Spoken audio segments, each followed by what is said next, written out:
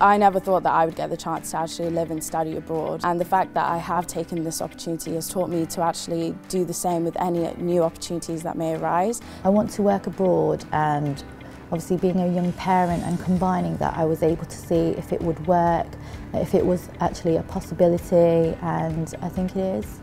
So before I went for my study abroad year, there was loads of support from my university. We talked to lots of people who'd done study abroad before and they gave us lots of advice on things like culture shock and help with stuff like getting visas. Whilst in Lyon, I was contacted via Skype from Essex University. My host university was definitely very supportive in terms of the fact that they um, arranged a group of students who were exchange ambassadors who organised events for exchange students as well as gave any tips and advice. I definitely think this opportunity abroad um, helped my career prospects. So through the internship opportunity I was able to actually land a graduate role so as soon as I graduate I'll be going back to the bank to work for them.